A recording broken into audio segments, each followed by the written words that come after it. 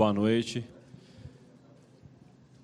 Aquele dia eu falei que eu não ia anunciar no dia, mas em poucas horas do dia seguinte já tinha o sim do Micali.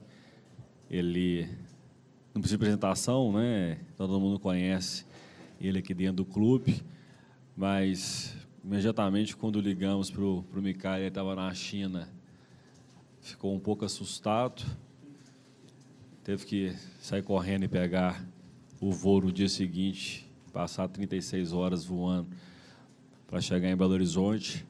Mas durante é que tem que falar hoje é ele, mas acho que não posso deixar de, de colocar os principais motivos de trazer o Micali é da dificuldade que é você trocar um treinador no meio do ano, com a esteira andando rápido, com três campeonatos importantíssimos, e além do que o Micali provou aqui internamente, com, com todos os clubes da base que ele trabalhou, e principalmente na liderança que ele teve na, no, maior, no maior conquista da seleção olímpica do Brasil, e pelo caráter e saber que o tamanho do clube e a exigência que, que, que terá por parte de, de todos os jogadores, da direção, da torcida, e ele, ser, ele ter essa tranquilidade e a sabedoria foi, foi, foi o principal fator. E, e muito se falou, é, especulou antes de ter anunciado qualquer, qualquer é, outro nome não existiu, não teve contato com, com nenhum outro profissional e de forma nenhuma o jogo de ontem, o jogo de ontem pode mudar os planos que nós conversamos no, na quinta-feira para a gente continuar e reerguer o mais rápido possível. Ricardo, prazer em revê-lo. É, imagino que você, mesmo não estando no mercado, acompanha de perto, principalmente o Atlético, uma casa que você conhece muito bem. Eu queria saber se, de alguma forma, deu para diagnosticar o problema que alguns dizem que é crônico, né? Dentro do Independência, o Atlético não consegue ah, jogar bem. E pelo seu primeiro treinamento, notei um time, pelo menos, uma impressão de uma linha mais alta, de um time que pressiona mais, que tenta ah, ah, acuar um pouco mais o adversário. É isso? O que você viu e o que você pensa em implantar no Atlético daqui por diante? Em primeiro lugar, é um prazer enorme voltar a, a minha casa, né? Me sinto em casa. Quando cheguei ao clube e falei com os funcionários ali que é, como é bom a gente poder chegar no lugar e conhecer né, as pessoas, ah, como vocês aqui eu conheço, né? Sente muito à vontade, tranquilo, sei da enorme pressão que é, porque vivi aqui quase sete anos, sei o peso de vestir a, a camisa da, do Atlético Mineiro, né? É um time muito grande. Então, a minha expectativa é a melhor possível. Esse é o primeiro ponto. Segundo ponto, que realmente acompanho, né, acompanho o futebol mineiro. A gente, eu fui para Minas é, para o Rio de Janeiro, mas sempre acompanhando, até porque tenho uma torcedora em casa e, e me cobra muito. É, então sempre vendo, vi esse momento que está atravessando, mas olha assim, eu olho, eu olho com muito otimismo. Eu olho um clube que Está cinco jogos de ser eh, campeão brasileiro na Série B. Vejo um, um clube que tem sete jogos para levantar um título internacional importante e que ainda tem um, um caminho longo dentro do campeonato brasileiro que tem todas as condições de se recuperar. Então, venho para cá com um sentimento assim de muito otimismo com tudo que está acontecendo.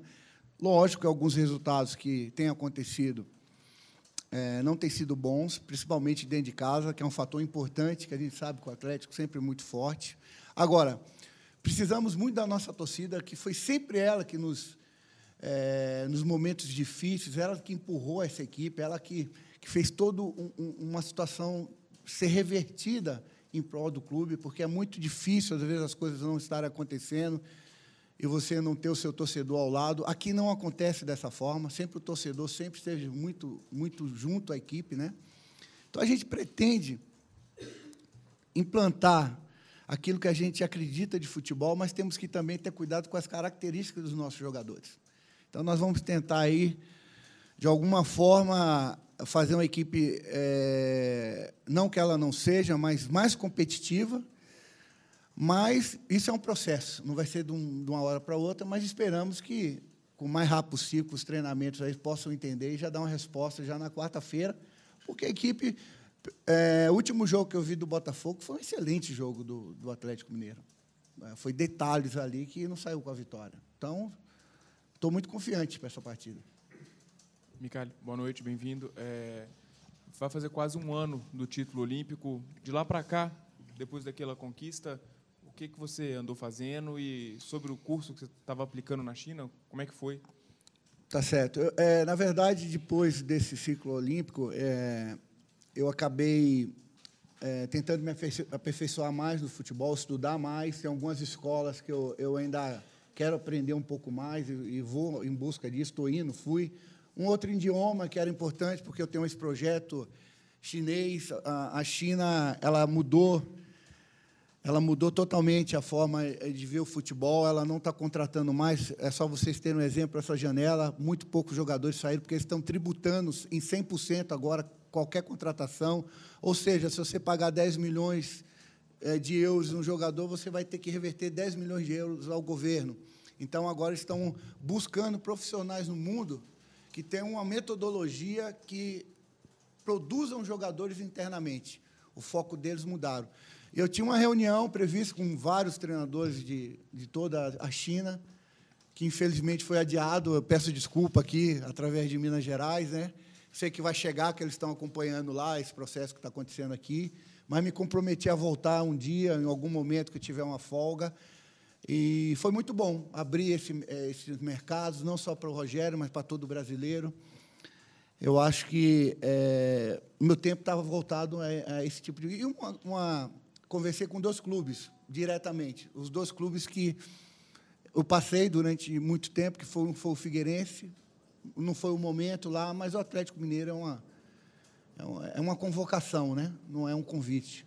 E me sinto realizado e espero realmente contribuir e alcançar os objetivos que nós temos para esse ano ainda.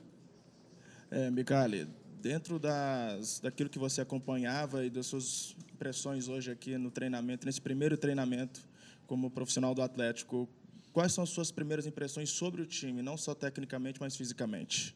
Bom, não tenho. Não tenho, porque qualquer coisa que eu falar a respeito disso é, vai estar sendo muito precoce. Eu tive um contato com a equipe. O treinamento de hoje, eu posso falar que foi muito bom, foi um treinamento intenso. Foi, é, é sempre os nossos treinos vão ser dessa forma, dessa forma, curto, mais intenso, tentando implantar ah, o nosso modelo de jogo, aquilo que nós acreditamos. Então, todo, todo o trabalho vai ter um componente que a gente possa transferir ao nosso jogo, né, para que a gente possa assimilar o mais rápido possível. Vi uma resposta muito boa dos jogadores, um empenho muito grande, mas só foi o primeiro contato. A partir de agora, nós estamos tendo todas as informações da fisiologia, da parte física, é, de todo um contexto. É, e eu vejo que nós temos uma equipe muito boa. Né? É, nós estamos aí com um elenco de, de, de, muita qualidade e só recuperar a confiança, é, confiar que o nosso torcedor vai estar junto com a gente. Né? Eu sei que nós estamos vivendo um momento difícil, mas é importante isso. É importante, o nosso torcedor ele faz muita diferença. Sei também que a gente precisa corresponder para que esse torcedor venha junto e nós vamos trabalhar muito para que isso aconteça e que a gente possa voltar né, a, a, achar os caminhos da, da vitória, principalmente que era uma marca muito forte nossa dentro de casa, e deslanchar e, e temos ainda chances em, em, competições que estão abertas e a gente vai buscar isso. Micali, a torcida do Atlético se acostumou nos últimos anos com um time intenso, um time veloz, principalmente os times do Cuca e do Levir Cup. A torcida cobra esse tipo de situação. O time do Roger já era um time com posse de bola, um time mais paciente. Como você pretende trabalhar essas situações? Olha, primeiro eu pretendo me adequar às características dos jogadores. Não adianta eu querer uma equipe é, é, de posse de bola se de repente a característica do meu atleta não é para isso e consequentemente extremamente velocista. Se, eu sei que a nossa característica é essa. Eu vivi aqui durante esse período todo. Eu sei do que o nosso torcedor, o que o nosso torcedor quer. Então nós vamos tentar, na medida do possível, com o elenco que nós temos, que é muito bom, por sinal, ter esse perfil, voltar ao nosso perfil quer ser agressivo, quer ter um jogo dominante dentro da nossa casa. A nossa intenção é essa. Agora, não se faz isso com dois treinos, né? mas já vamos estar tá mostrando a ideia, tá com, junto aos jogadores, mostrando a importância de, de, de, se fazer dessa forma, porque a nossa característica é cultura local, é a nossa cultura, é a cultura do clube, principalmente pelas maiores conquistas foram assim, e a gente se acostumou a isso. Ou seja, o padrão é esse. Então, mas também precisamos respeitar as características que hoje nós temos dentro do nosso elenco, porque senão a gente quer uma coisa, mas o atleta talvez não esteja nesse momento apto a fazer aquilo que nós pensamos. Então, eu como treinador tenho que tentar tirar o melhor de cada um dentro das suas características. Micali, boa noite. Boa noite. São, são dos profissionais mais experientes do país em divisões de base. Com a seleção brasileira, conseguiu um título que, que ninguém conseguiu passando por lá. No entanto, você tem um desafio completamente novo. É clima de Libertadores, de Copa do Brasil, é uma torcida muito pulsante. E por que, que você acha que tem tudo para dar certo? E um, fazer um comparativo desse ambiente, dessa pressão que você teve na seleção brasileira, principalmente no início do torneio olímpico, e agora à frente do Atlético. Dá para estabelecer um paralelo? Olha, é, totalmente, totalmente. Eu estou vivendo exatamente o que eu vivi nos Jogos Olímpicos. É, eu era um treinador que é desconhecido para a maioria do povo brasileiro, com um desafio imenso pela, pela frente, lidando com jogadores de muita qualidade, com estrelas né, do futebol mundial, é, tentando implantar uma metodologia que eu acredito que precisa ser aceito. Pra, é, não existe, ninguém faz mágica, precisa haver um convencimento é, em relação a isso, se é bom ou se não é, para que possa ser realizado. Aonde, no início, através dos treinamentos, foi tudo lindo e maravilhoso, todo mundo é, encantado. Pós dois jogos, Iraque e, e seleção sul-africana, qual foi a, a segunda? Foi Iraque África do Sul. Não veio os resultados, acabou o mundo. Aí acabou o mundo, aí nada mais prestava. A gente vinha de uma depressão muito grande pelos resultados anteriores e o futebol tinha acabado no Brasil. Era, uma, era, uma, era algo muito pesado. Era algo muito pesado.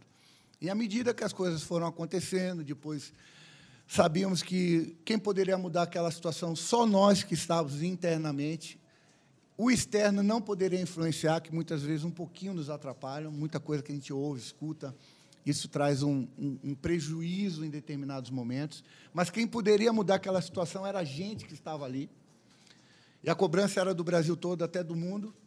Hoje, no Atlético, aqui é um clube de massa, um clube que a torcida é apaixonada, que tem condição, está acostumado a vencer, assim como a seleção brasileira, tem um elenco muito bom, tem, tem condições de ganhar e que nós precisamos só ter o quê? Tranquilidade nesse momento, a lembrar de tudo que nós fizemos de bom até então, que tem muitas coisas boas, porque quando está no momento ruim, a gente só vê a coisa ruim, mas tem muita coisa boa que o Atlético Mineiro fez, e é, ter tranquilidade para reverter esse momento. Você perguntou assim, o que, que me leva a acreditar? Porque eu sou otimista. Sou otimista, estou chegando hoje, eu quero ganhar. Assim como eu tinha sete jogos para fazer algo inédito, para fazer história lá na seleção brasileira. Eu tenho aqui cinco e sete do outro lado. Então, para mim, assim, tá, tá maravilhoso. Estou muito animado. Estou assim, eu acho que é possível. Acho totalmente possível. E espero que todos nós possamos acreditar dessa forma, mas não só acreditar, trabalhar muito para que isso possa se concretizar. Micali, é, bem-vindo. É, o presidente esteve aqui na semana passada no anúncio do Roger, falou que está satisfeito com o elenco e que foram gratas as surpresas da categoria de base. Você trabalhou com vários nomes dos meninos que estão agora em outro patamar, estão no plantel principal. O quão especial é voltar e ver esses meninos tendo oportunidades, muitos deles de titulares, e é uma realidade que o Atlético vive um momento de pressão. A gente sabe o que você pensa em relação à maturidade desses meninos e como tirar, principalmente deles, esse momento um pouco turbulento que o Atlético vem vivendo. É, na verdade, o futebol é, em qualquer lugar do mundo, não é no Brasil, não. A gente falar que aqui no Brasil, qualquer lugar do mundo, a gente vive sob pressão. Né? Nós vivemos é, intensamente ah, o próximo jogo. E que, se não ganhar, vai aumentando e as coisas vão. Né? Compete a gente que está aqui, como liderança, como está à frente, trazer tranquilidade. A gente sabe do potencial de cada um deles, não estão aqui à toa, não estão aqui no clube como Atlético Mineiro, alguns deles há mais, há mais de seis, sete anos, com uma boa formação. Eu vivi aqui dentro, eu sei como é a formação. Então, são jogadores que foram trabalhados para viver esse momento. É, gostaríamos que fosse mais tranquilo, mas eu confesso a vocês tenho conversado com muita gente no Brasil, eu não vejo tranquilidade em lugar nenhum. Mesmo hoje no Corinthians, que está liderando, tem a, a pressão de se manter na liderança. Então, hoje no futebol, não existe um, um lugar que te passe uma segurança total para você poder desenvolver é, o, seu, o seu trabalho. Acho que você tem que se adaptar a isso, tem que lidar muito bem com isso. Esse jogador jovem, lógico, vai ter todo o amparo dos mais experientes, das pessoas que comandam, mas aproveitar a oportunidade que está sendo dada. E, pelo jeito, pelo que eu estou vendo, estão sendo muito bem aproveitadas. Então, é isso. Eu acho que não tem muito o que fazer. A gente tem que estar tá, tá junto, estar tá do lado e vamos jogar bola. Vamos fazer aquilo que a gente é, sonhou a nossa vida toda. Ter uma oportunidade como essa de disputar Libertadores, Copa do Brasil e dar o nosso melhor. O que a gente puder fazer em termos de trabalho tem que ser feito. Micali, bom revê-lo. É, você teve um trabalho vitorioso nas categorias de base, medalha de ouro nas Olimpíadas, é, mas o trabalho em clubes profissionais é, ficou restrito ao Grêmio Prudente. E agora aqui no Atlético você tem esse grande desafio. Para alguns torcedores, talvez o Atlético precisasse de um técnico mais experiente para esse momento. O que, que você diz para esses torcedores? Aqueles que, eu digo o seguinte, aqueles que é, gostariam da minha presença aqui, eu agradeço demais né, por confiar. E aqueles que não acreditam tanto, também quero agradecer, porque eu vou trabalhar muito para conquistar a confiança deles. Não vou ter aceitação total em nenhum lugar que eu for. Né? É, eu, sou, é, eu, eu acredito assim, eu passei pelas categorias de base muito tempo da minha vida, mas a categoria de base nada mais é que como foi para vocês, na área de cada um aqui, uma escola. Que chega um momento que você precisa dar um, um próximo passo. Né? E é bom que eu tenha passado, porque eu errei muito nas categorias de base. E eu acho que esses erros me fizeram mais fortes, mais preparados para que hoje eu possa alcançar trabalhos e, e, e vivências como eu tive nas Olimpíadas. Se não viesse a oportunidade, eu não teria como mostrar. E eu sei que aqui é tudo muito difícil, o início é muito difícil para qualquer área, não é para o treinador. Vocês, como repórter, é, alguns de vocês já é, consagrados, mas tem outros que estão iniciando na, na, na vida, né, na, na sua profissão. E sempre o questionamento vem: será? Mas se você não oportunizar, você não vai saber se é bom ou não é. Eu acho que eu tenho uma história no clube, eu acho que eu tenho uma história de títulos de base. Eu participei de todas as finais possíveis, de todas as competições mundiais. Não só internamente, mas externamente. Fui vice-campeão mundial pela Sub-20, fui medalhista olímpico, fui medalhista pan-americano. Então, todos os fui campeão da Copa São Paulo, fui bicampeão, tenho três finais de Copa para Belo Horizonte, fui campeão, campeão em todos os estaduais que eu passei pelos clubes. Ou seja, eu tenho alguns requisitos para ter uma oportunidade é, maior. E me sinto preparado, me sinto muito à vontade com vocês, com vocês, com o elenco. Então, eu acho assim, se vai dar certo no resultado, o tempo vai dizer. Agora, que eu me sinto apto a exercer essa profissão, eu me preparei para ela. Eu sou formado, é, me especializei fora do país, fui ver o que Barcelona faz, Real Madrid, Porto, Benfica, é, é, seleção portuguesa, seleção alemã, é, seleção espanhola. Fiquei mais de 50 dias estudando metodologia na Europa. Ou seja, em termos de, de conhecimento teórico, fui, sou ex-atleta, fui um goleiro meia-boca, que eu sempre falo. Sempre falo, porque, que muita gente fala assim, eu parei de jogar porque eu machuquei o joelho. É 80%, 90%, outro é o tornozelo. Eu parei de jogar bola porque eu era ruim. Não tenho essa... E aí eu fui estudar. Fui para outra mais joguei futebol. Então, me preparei o máximo para exercer o cargo que eu exerço hoje. Agora, A gente vive num, num meio que o que vai falar se você é bom ou não é o resultado final da partida. Se o Neymar erra o pênalti, graças a Deus não errou, eu estaria que estar trabalhando na escolinha lá no Paraguai, com todo respeito aos nossos irmãos paraguaios, porque no Brasil eu estaria com a carreira encerrada. E a gente vive nesse, nesse fio da navalha. Se você ganha, você é o melhor. E talvez não seja o melhor, porque eu, eu dividi essas Olimpíadas com muita gente. E eu fiquei lá um ano trabalhando com aquele grupo. E eu dividi e faço questão de dividir, porque ninguém ganha nada sozinho, mas dividir com muita gente. É? Porque mesmo você ganhando, um cara que muitas vezes chega do nada, ele não tem esse direito de ganhar. Quem é esse cara?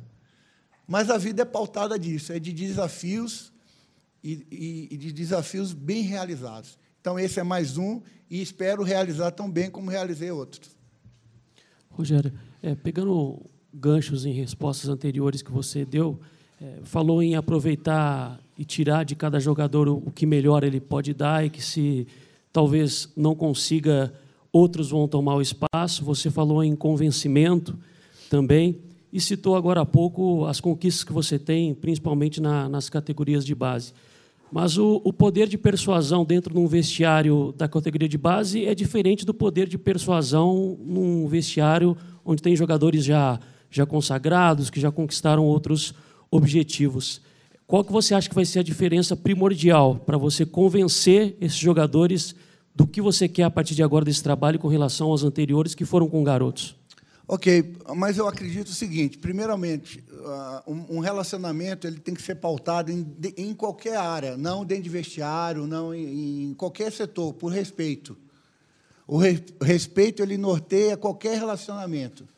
Para a gente viver em sociedade, em qualquer espaço, o principal é, é se respeitar o outro.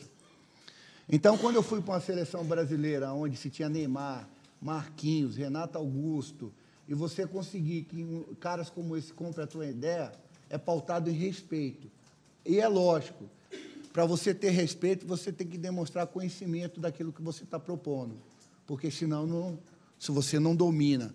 É, é a mesma coisa que eu for dar aula de matemática se eu for falar de matemática para algumas pessoas que estão é, me recebendo para saber sobre aquilo, em 10 minutos vai perder o respeito, porque eu não vou saber lidar com aquilo que está sendo proposto. Agora, sobre futebol, sobre como é, formatar um treino, como formatar um, um processo para contrapor um adversário, para você organizar sua equipe, nós vamos conversar sobre isso. E pautado em respeito, isso indifere de categoria de base ou profissional.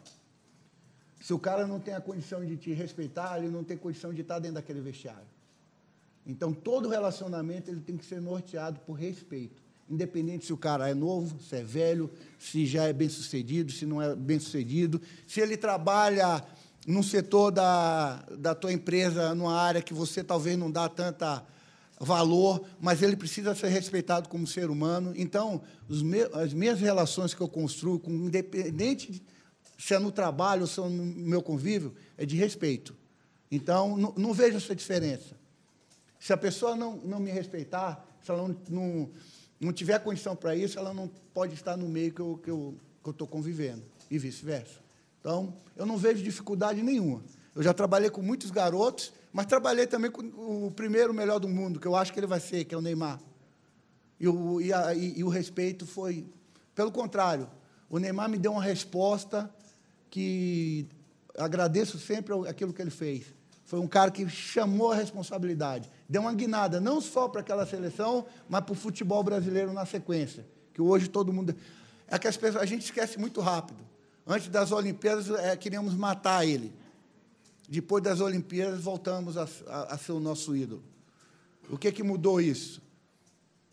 Por que, que mudou isso? Primeiro que foi o resultado. Nós ganhamos, ele voltou a ser um cara.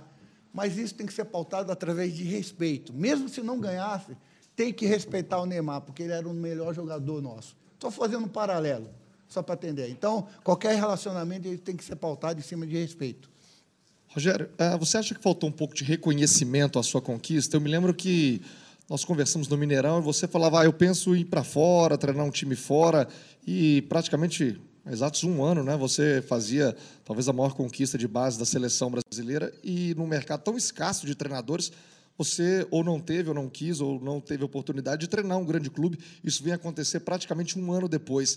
Muita gente, inclusive, atribuiu a, a conquista ao Tite, que teria entrado no meio do, do circuito para fazer o Brasil sair vencedor. De alguma forma, isso te magoou, e por que esse ato né, de um ano no mercado tão difícil, tão escasso de treinadores, para aparecer uma oportunidade boa como essa que o Atlético lhe oferece? Bom, vamos por partes. Primeiro, porque algumas oportunidades apareceram e por circunstâncias, é, achei por bem não não ir adiante.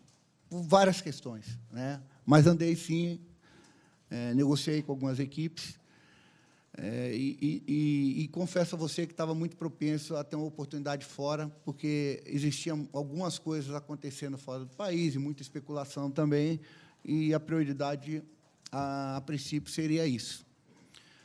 Em relação ao professor Tite, o que eu vejo assim, a gente assim, a gente, a gente não quer, é, ele não tem nada a ver com isso. Na verdade, eu, eu usei uma expressão que foi talvez mal interpretada quando eu falei que houve um, uma surfada na onda. Quando eu disse isso, eu queria dizer o seguinte: seleção é, pré-Olimpíadas era uma coisa, seleção pós-Olimpíadas era uma outra. Eu estou falando em ambiente, em clima, em estádio, em, em, em, em você olhar as pessoas e a atmosfera mudar totalmente. O que eu vejo é o seguinte: a gente minimiza muito alguns trabalhos, né? Não me sinto magoado. Acredito até que eu, eu, eu divido muito meus trabalhos com muita gente. Mas aquela seleção eu preparei por um ano. Foi um ano de preparo anteriormente. E a gente tinha a, a, se a gente for olhar modelo de jogo, Tite, modelo de jogo Rogério Micali, é diferente. E eu não tenho, eu não tenho nenhum sentimento de querer eu surfar na onda do Tite. São modelos de jogo diferentes. O que ele pensa de futebol para a seleção brasileira é um pouquinho diferente do que eu pensei para aquela seleção pelas peças que eu tinha. Eu tinha um ataque muito poderoso na minha mão. Então, poderia jogar com quatro atacantes e treinei para isso durante algum tempo durante a, a preparação, que culminou a gente terminando, é, jogando com os quatro atacantes. Não me sinto magoado de forma nenhuma. O que eu sinto é que existe uma valorização muito maior dessa conquista fora do nosso país do que dentro do próprio país. Isso eu vejo, porque eu viajo muito, vou muito para fora, né, convidado para palestras e tudo. Agora, é a nossa forma de ver. A gente minimizou a conquista dizendo que a seleção alemã veio com a, não veio com a seleção que era para ser, correto?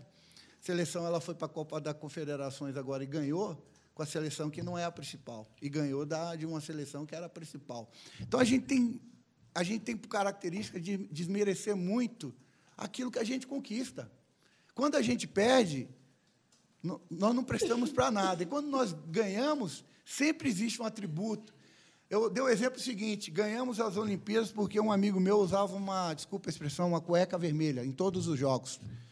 Então ele se sente vencedor porque se ele tirasse aquela cueca vermelha, a gente ia perder os jogos. Então são alguns exemplos assim. O professor Tite ele foi lá almoçar com a gente. Ele nunca participou de uma palestra, ele nunca participou de um, de um encontro, e nós nunca tivemos um, uma conversa sobre tática específica da equipe até porque ele é uma pessoa muito gentil e generosa. Ele sabe, sabe muito bem aonde inicia e termina, o, aonde ele pode chegar. Assim como eu. Eu não vou para chegar para um outro treinador que está em determinado cargo no momento e vou tentar expor algum tipo de ideia, porque isso é antiético, como na profissão de vocês.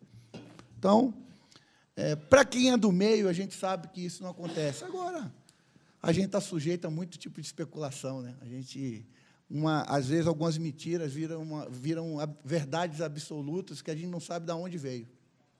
Rogério, é, não sei quanto a fundo você acompanhou os jogos do, do técnico anterior.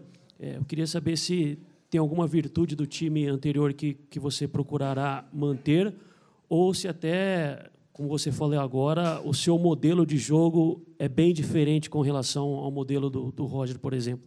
Não, em primeiro lugar, eu quero deixar claro que eu admiro muito o trabalho do Roger. Eu acho um excelente profissional. Eu acho que eu vou, vou aqui eu vou ter muita coisa que, que ele fez. Eu vou vou aproveitar, porque eu conheço ele como pessoa, conheço ele como treinador, sei da competência que ele tem, entendeu? Então, vou, vou usar muito. Agora, é lógico que eu tenho alguns detalhes que são próprios ao Rogério, é a minha forma de trabalhar.